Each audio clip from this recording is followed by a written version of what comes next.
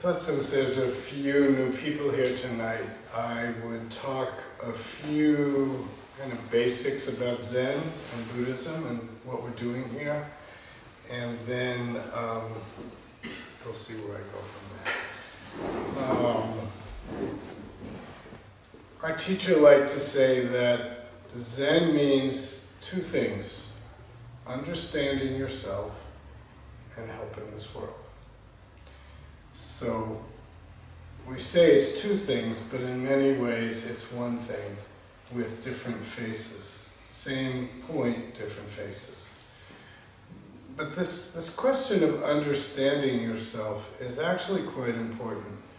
Um, if you look at all the human suffering, I think if we investigate it, I know I have in my own life, both personally and besides being a Zen teacher, I'm also a psychotherapist, so I get a unique sense of the human mind and, and where we human beings get stuck. And a lot of, we could say a lot of the problem is unconsciousness, of not really knowing who we are and not being able to truly express our own nature. One way I like to describe this um, would come from reading novels. When you read a novel, you'll, you'll often read the inner dialogue, um, what the person is actually feeling and thinking and what they're going through. And so you might read a section where the person is maybe struggling with something really difficult in their own life and or maybe relationships and friendships. And then one of their friends walks into the scene and you read this inner dialogue on how she really doesn't like that person. She's angry about something. She feels this she feels that. And you can read a paragraph or sometimes pages full of background of what happened and all, all of the difficulties and then you get one line of dialogue that says, Oh, how nice it is to see you tonight. She's lying. There's a whole backstory that doesn't get acknowledged. And in a novel, they give you the backstory. But in our own minds, in our own lives, we often don't understand the backstory. We don't know what's going on. We don't know why we feel what we feel. We don't understand what's going on and how is it that I keep getting into these messes. If we look at our own lives, we often see that there's a pattern to the things that give us difficulties. The same thing that I have a problem with with you, I also have a problem with this other person.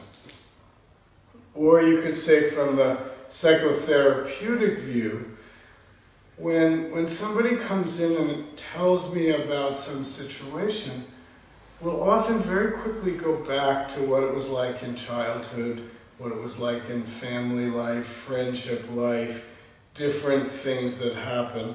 And very quickly, doesn't take very long to see a connection between the way I struggled in my family life or in my school life or, or with my friends, depending on the situation, it's, it's different.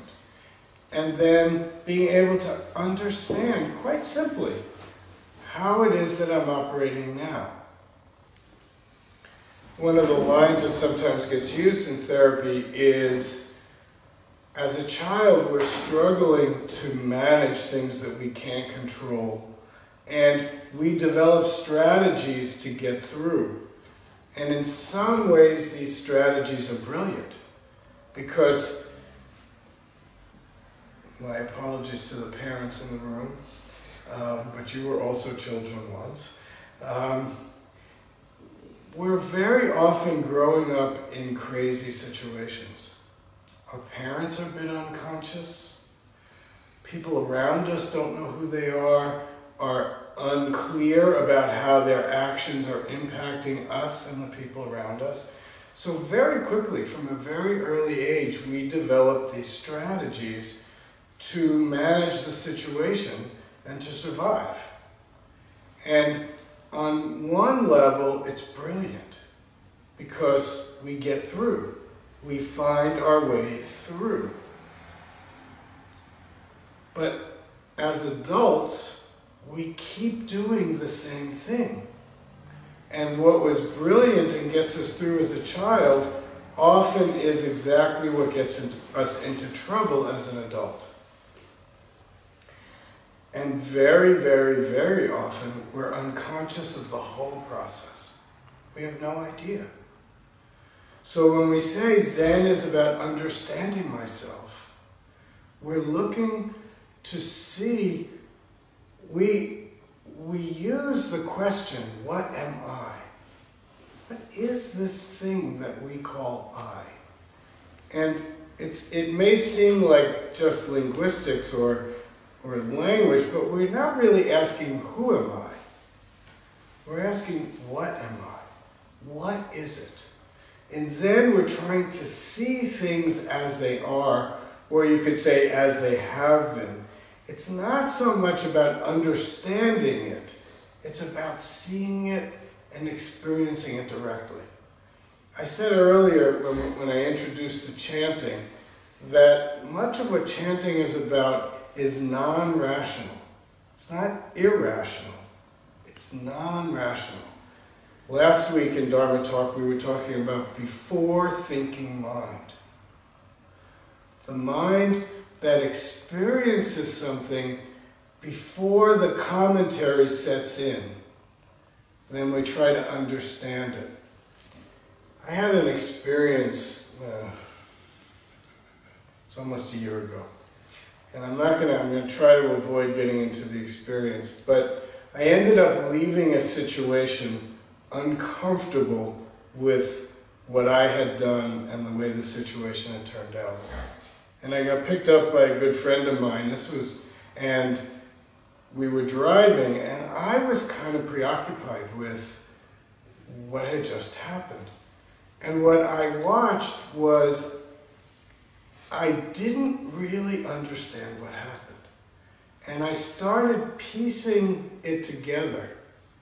And at some point, I settled on a narrative about what happened. And then it was like, okay, now I understand. But looking at it, what I realized, I watched the process of a narrative getting created, and then believing the narrative that I had just created. But there's a gap between the narrative that I create and what actually happened.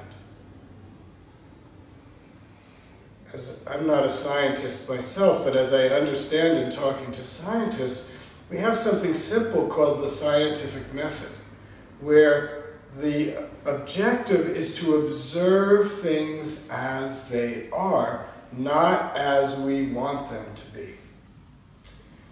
Sounds simple, but it's actually quite complicated. And in my work with people and talking to scientists, I've been told how difficult that is, how bias so quickly and subtly comes into our observations that we can't even necessarily trust what it is we're seeing. And I suppose, getting a bit esoteric, there's one view that says once we observe something, we actually change the thing itself. So our observation already skews things. So what that leads us to in our Zen practice is the recognition of not knowing. For most of us, knowing is the way we use to find some security and some stability in our life. So as I gave in that example, once I settled on a narrative that made sense to me, I felt better. That's what we're doing all the time. We're, we're taking these things that we really don't understand. So much input is happening all the time. And we're struggling to keep up. And these days there's more and more and more information, and things are more and more and more instantaneous. And in many ways, we don't have the capacity to hold everything and understand everything.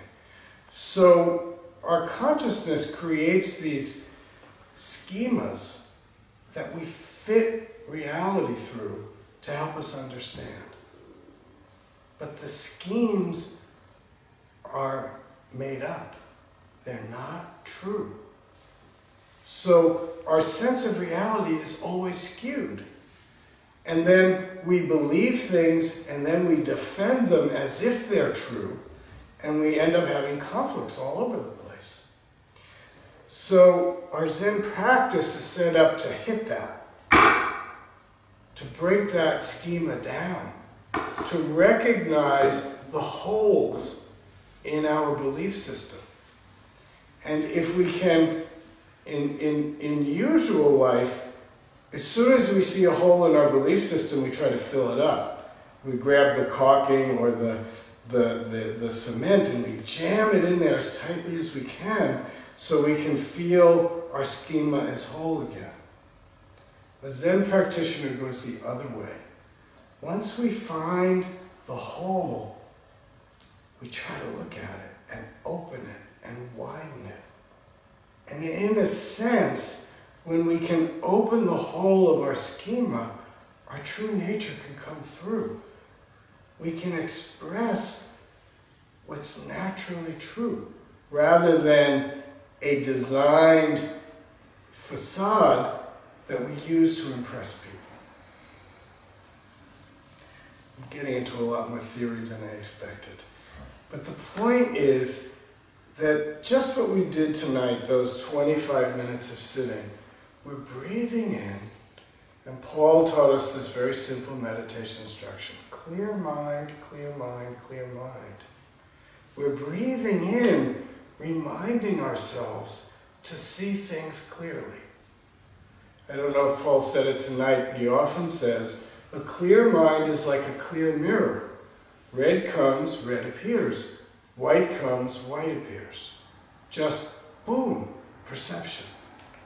But often what happens is as soon as the red appears, my opinions about red dominate my consciousness. What we're trying to do is, before the opinions arise, to just see it, just hear it, just smell it, just taste it, to allow the natural, just what it is to appear. It's very difficult. It sounds easy, but it takes a lot of work to strip away all of the commentary, all of the story, to be able to perceive this moment. And then Paul told us we breathe out, don't know. That don't know mind is our best friend. We don't know it. We think it's our worst enemy. But it's actually our best friend. Because when we drop into not knowing, we become like that scientist who looks who wonders, who investigates, rather than continuing to do the same crazy behavior over and over and over again. Insanity has been described as doing the same thing over and over and over again, expecting a different result. But not knowing lets us check it out, lets us be curious, lets us wonder lets us actually connect with what's happening rather than separating ourselves by what we know. So I said this first part of practice is investigating what am I? What is this life? And we keep that mind always and everywhere. The second part of it is helping the world, connecting to what is happening right now and responding. In the readings we were using during our retreat last week, the sixth patriarch, who's a very famous person in the Zen world from 700s, 600s, something like that. He said, absorption in action is what he called samadhi. Samadhi is like this deep connection to the moment. If, when we're walking, we feel our foot on the ground, we're connected to the moment. Usually we're walking and we're thinking about all sorts of other things. We're dwelling in some story, something that happened to us that we didn't like, or something that we really want, and we're trying to figure out how to get it. All these dramas of our life, we're stuck running the stories about them. And as I was saying, when we run those stories, we miss what's happening in the moment. If we can connect with, happen, with, with what is happening in the moment, what we often see is a need. We see the pain of ourselves, the pain of others, the simple need to lift, hand something to someone. Somebody's grabbing, reaching for something, but they can't get it. If we're so busy in our own story and our drama, we can't even see what's happening. Or we start to create a lot of stories about that other person and we lose the moment. But if we could just simply connect with what is, then when something is needed to be done, we can do it. So my teacher used to say, when you do something, do it 100%. Think of yourself. Think of all the things you do half-heartedly. Think of all the ways that we're kind of doing it, but we're torn. We have these words in our language. We feel split. We feel torn.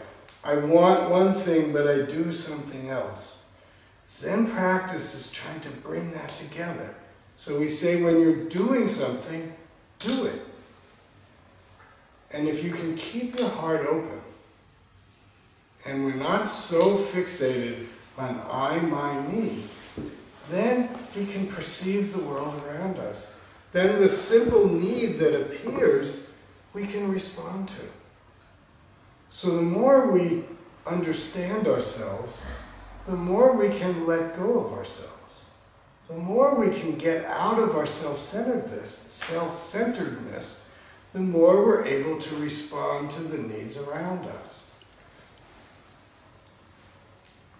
A Japanese famous actually pivotal Japanese Zen master from the 1200s, Dogen, said something that stays with us in our practice even today.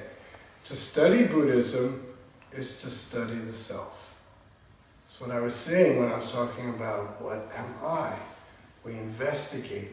We're curious about ourselves, our actions, our behaviors, our desires, our needs, all of it. Not in a judgmental way, not in a self-critical way, but in an open, investigative way. So to study Buddhism is to study the self. To study the self is to forget the self. Once we study ourselves, what we find, and it maybe seems counterintuitive, rather than it become a fixation about ourselves, we can let go of our self-centeredness. We see its origins we perceive how it manifests, and we could naturally let go. To study Buddhism is to study the self. To study the self is to forget the self. To forget the self is to be enlightened by all things. If we can forget the self, not be so stuck in our self-centered behavior, then we can actually connect with the moment. And when we connect with the moment, that's what's called being enlightened by all things. When we're drinking something, we can actually taste it. When we're feeling something, we can actually feel it. When we notice something, we can see it. When our heart is open, we can respond to it. Our hearts close down when we're stuck in our self-centered behavior. Our hearts open up when we take in others.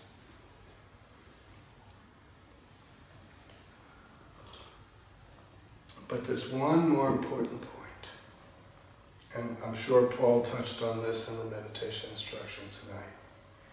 to be able to forget the self, to be able to investigate the self, we have to develop some strength, some courage, some stability in our own body and mind. So, I didn't hear all the instructions tonight, but I'm sure Paul talked about breathing into your lower abdomen. Slowly breathing into your lower abdomen, filling your belly so that on your inhalation, your belly rises, and on your exhalation, it falls. And what we're doing here is creating a strong foundation.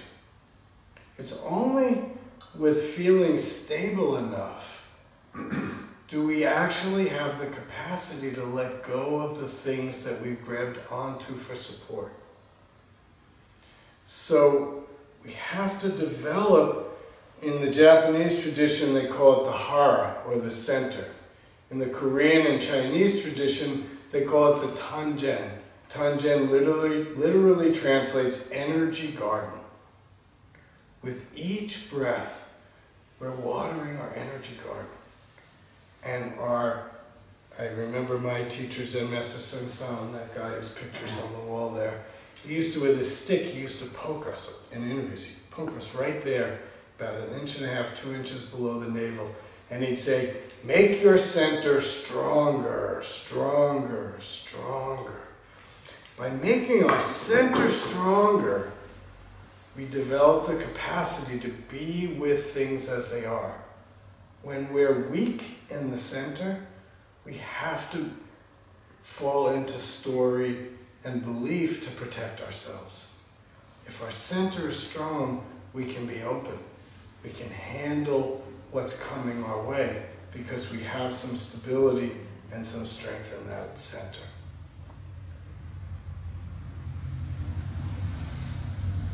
So, if we can both focus on this great question what am I?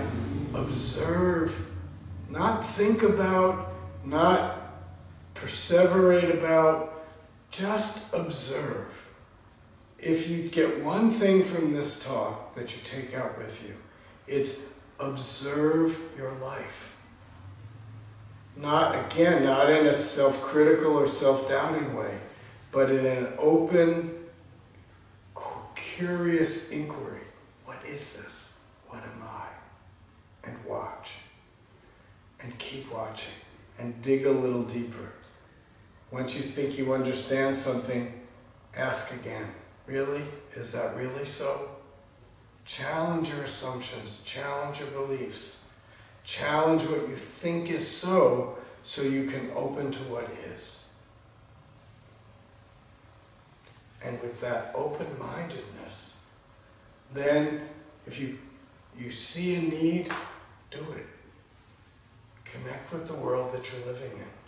If we all can simply get out of the, the stuckness of our own I, my, me, then we can help the world. We can do something in small ways.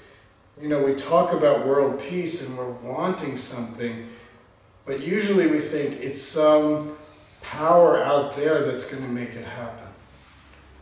And the Zen perspective is that it's us who make it happen. That in the very way that we live our lives and connect with the daily, the daily hubbub of existence, we create the peace that we're looking for in our behavior and actions it's not somebody else's job, it's our job. And Zen practice gives us a way to clarify our minds, to open our hearts, to be able to just do it in the moment that we find ourselves in. Question, comment, anything anybody wants to talk about? Anything that I might have stimulated? Or any question about your life, anything at all is fine. Uh, thank you for the talk. Uh, my question is rooted in a series of personal experiences. Uh, we talk about uh, letting go of our explanations, of our stories, of our prejudices. But what I have found is that there is a limit in my personal strength uh, beyond which I become too unstable to the point where I can like hurt somebody or hurt myself. Uh, uh, there are situations. Stop you a second. I just want to highlight what you just said because I think it really connects with what I was talking about. It's like we reach a point where we're too stretched and suddenly I can't do it anymore. And then you said, and then I may hurt somebody. Then we lose, we lose ourselves, and then we start striking out or doing things to try to build that capacity up again. I think that's very interesting the way you said it. So go ahead. Yeah, so one of my experiences was that I was feeling very strongly about something and I was acting not very nicely about something.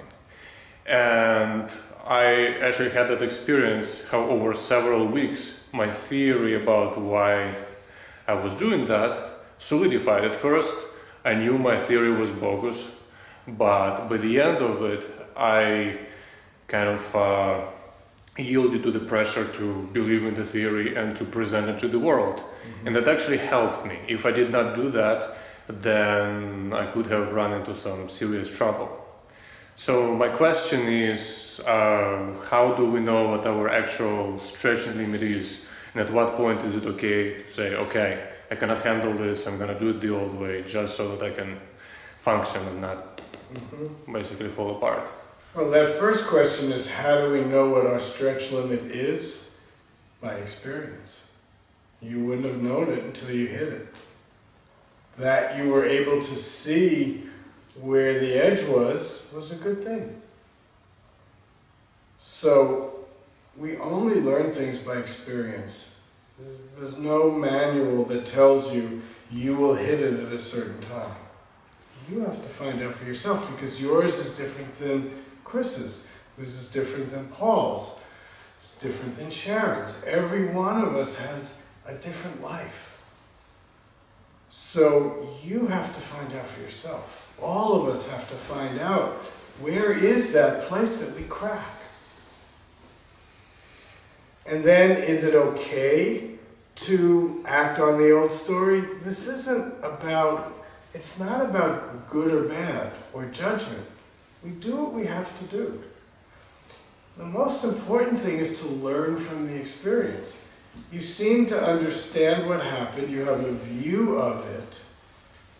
That teaches you, not me. Your experience teaches you. Was it okay or not? How did it work? It helped you then, but you must also see that there were limitations to it. You have to use your own experience and learn from that experience. Use your questioning, observing, not knowing not mind then discover it for yourself. Bring that to interview. Let's talk about that after you've learned from your experience. Okay? It's not, there's no formula. You have to find it for yourself. Okay? Thank you. Anybody else? Question or comment? Please. Is that possible to follow that Zen uh, way um, by ourselves, or is a teacher is necessary? It's often said that a teacher is necessary to follow the Zen way. The trouble with doing it without a teacher, or maybe even more than just a teacher, without a community, is that it's very easy for us to get fixated in our own belief system. To practice Zen, you gotta bump up against something. To see your, the walls of yourself, you have to hit them. And too often, if we're just if we're just making the, the making doing it all ourselves, we don't know how to find those edges. So I often say that I think it's very important to have aspects of practice that we don't like.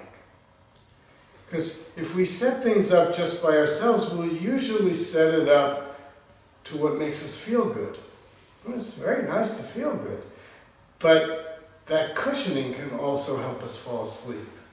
So we need, we need a way to push up against those edges. And a community or a teacher is one of those ways. So that by practicing in a, with a group, whether you show up every week or once a year, to have that community and also that teacher to be able to listen and reflect something back to you. You know, to work with a teacher, probably the most important thing is to be vulnerable. To be able to express those difficult places and to stay open to feedback. Very often people come in to see me and really all they want to do is tell me what they know. You'd be surprised, I have people come in to talk to me and they tell me about Zen. to really get something out of a teacher, you have to be open. You have to trust them enough to be able to listen. You don't have to agree with them. It's not about that. But you have to be open enough to present what's difficult and to listen to the feedback. So that's a very valuable thing. And many of us, and I know coming up in Zen practice, I had to work with that. With Zen Master Seung Sahn, it was easy. With some of the American teachers who he had made teachers, it was more difficult because I felt more competitive. I wanted their approval. I could be critical of them. And looking back, I can see how that was just the reflection of my own psychology. It really wasn't about them at all. So, just to encourage that process of being vulnerable, being, in a way, having enough strength in your center that you can be vulnerable and let in what somebody else has to say. Okay? Barry? I just want to say that um, I for the person who just asked that question or anyone else, I spent years of um, mostly just meditating my own. I was a single parent, and so I couldn't get to a community. So I would listen to teachings, I would watch teachings, I would read teachings. I would try to sit on my own. And then finally, I actually started coming here and um, I, I want to just say, in addition to what our Zen master said, the, the power, the support of a community for practice, the support of a teacher for practice is, uh, when it's in person, not in a CD or a tape or a DVD or a book, is, is, is profound um, and, and is life-changing. And I will say this community is particularly warm and kind and welcoming. I'm very grateful to be part of it. So, thank you. all, thank you. This many different things serve many different purposes. Like this talk's going to go up on the internet, and I, I often travel around and give talks, and it's not that infrequent that somebody at the talk comes to me and says, wow, I've been listening to your talks on, on the internet, and thank you so much, they're really helpful. So there's a, there's a value to that. But then what Miriam is talking about is something a little bit different. It's the power of community and face-to-face interaction that helps us learn about ourselves and supports us to be able to do the work. So someone like the Dalai Lama is this incredible resource. But for most of us, that's not enough. We have to do the work in the flesh with other people, with that live interaction with community and with teachers.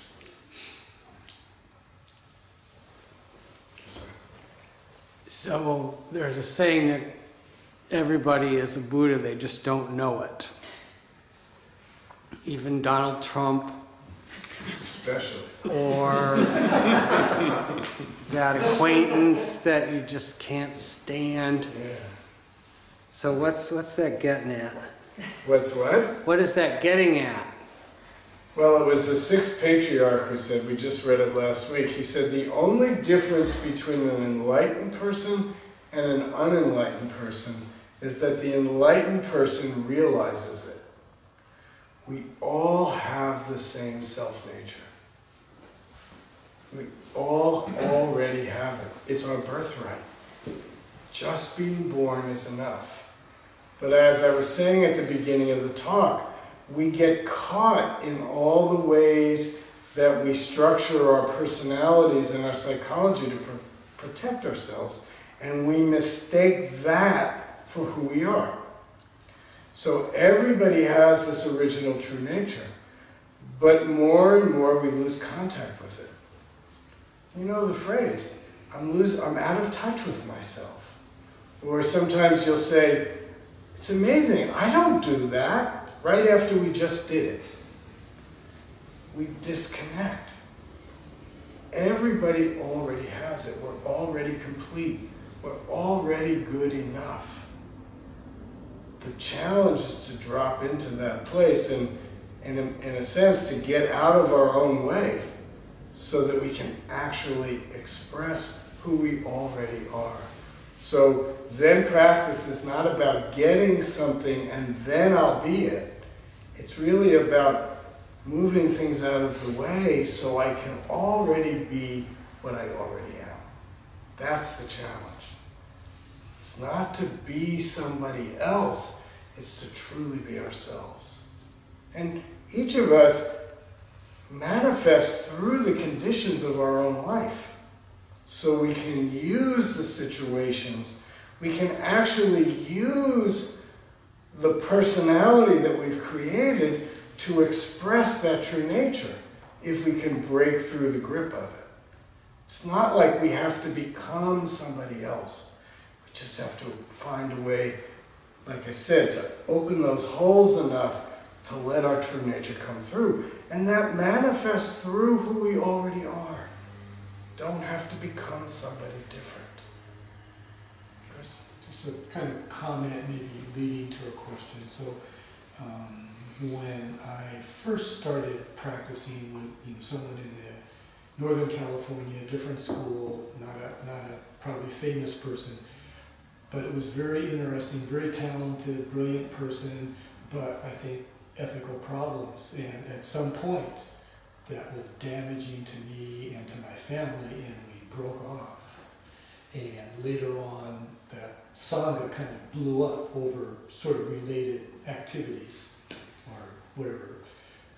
And, um, but it was still, for me, positive and learned a lot and useful mm-hmm. to, to have that experience. And, and it wasn't, you know, and some of it was painful and, and it brought up the kind of question I would argue with my wife at the time times. You know, discuss and say, you know, you have the Zen master, you're supposed to do what they say. And I say, well, there's a certain point, and something comes up, and that's no. You know, and, and I'm going to say no. So, oh, but you're supposed to say yes, no. and it was very interesting because she also came to the point to say no. And it was it was interesting and useful for both of us uh-huh. and you know both that dilemma and going through that experience i think over the larger picture was very positive mm-hmm. yeah any situation we can learn from and be careful mm-hmm. i mean as you said whatever whoever whatever that sangha was there can be a lot of damage along the way. But it gets very dangerous, I think. This whole idea, and it's, it's, I guess it is in Zen, although not so much here. Um, but in some traditions, it's like, you know, in India, I was reading this article where you can never challenge the guru. I mean, that's the kind of thing. It's this guru worship kind of thing. And I think very often that leads to abuse. So there's a way to respectfully question. And if the community is set up in such a way where it's okay to do that, then it doesn't have to be a big deal. You don't have to wait until it's finally gotten to the point where I can say yes. You know, you're asking me to kill somebody and I won't do that. I'm obviously being extreme. it's better if the community is set up where if you've got something to say, you can say it. And you, nobody is omniscient. They say the Buddha was, but I hardly even believe that. And if he was, it doesn't help us that much. Because most everybody else we meet in our lives is not. So if you give someone too much power and belief in their omniscience, you're probably going to get hurt in the end. It seems to me we're better off than just being humble. We're all on this path together. Nobody gets everything right all the time. And to just stay open and to learn from each other is a much healthier course. Yeah, so I said the student needs to be vulnerable with the teacher, but the teacher also needs to be vulnerable and authentic and real. So I would suggest whether it's here or any other, really, it doesn't even matter, it doesn't even have to be a Buddhist Sangha, it could be anywhere. When you're looking at authority, to look for humbleness, look for authenticity, look for admitting mistakes, that goes a long way. That's my personal view. Any last question or comment before we end? Okay, thank you all very much.